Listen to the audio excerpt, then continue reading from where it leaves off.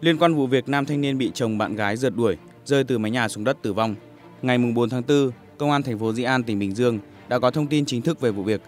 Theo cơ quan công an, đây không phải là một vụ án mạng. Kết quả điều tra xác minh cho thấy chị DTH sinh năm 1988 và TXH sinh năm 1988 cùng quê Hà Tĩnh là vợ chồng nhưng đã ly thân khoảng 2 năm nay, mỗi người ở một nơi và chưa ly hôn.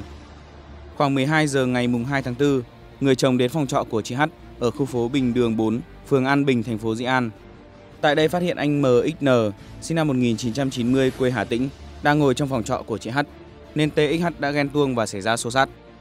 Bị chồng chị H đuổi đánh, anh N đã bỏ chạy vào một nhà người dân gần đó rồi lên sân thượng để trốn. Không tìm thấy đối thủ, TXH đã bỏ về. Thấy TXH bỏ đi, anh N đã trèo lên mái tôn của một xưởng gỗ gần đó để xuống. Tuy nhiên quá trình này đã bị té ngã, rơi trúng kệ máy khoan trong xưởng, dẫn đến đa chấn thương. Anh N được người dân đưa đi cấp cứu nhưng đã tử vong sau đó.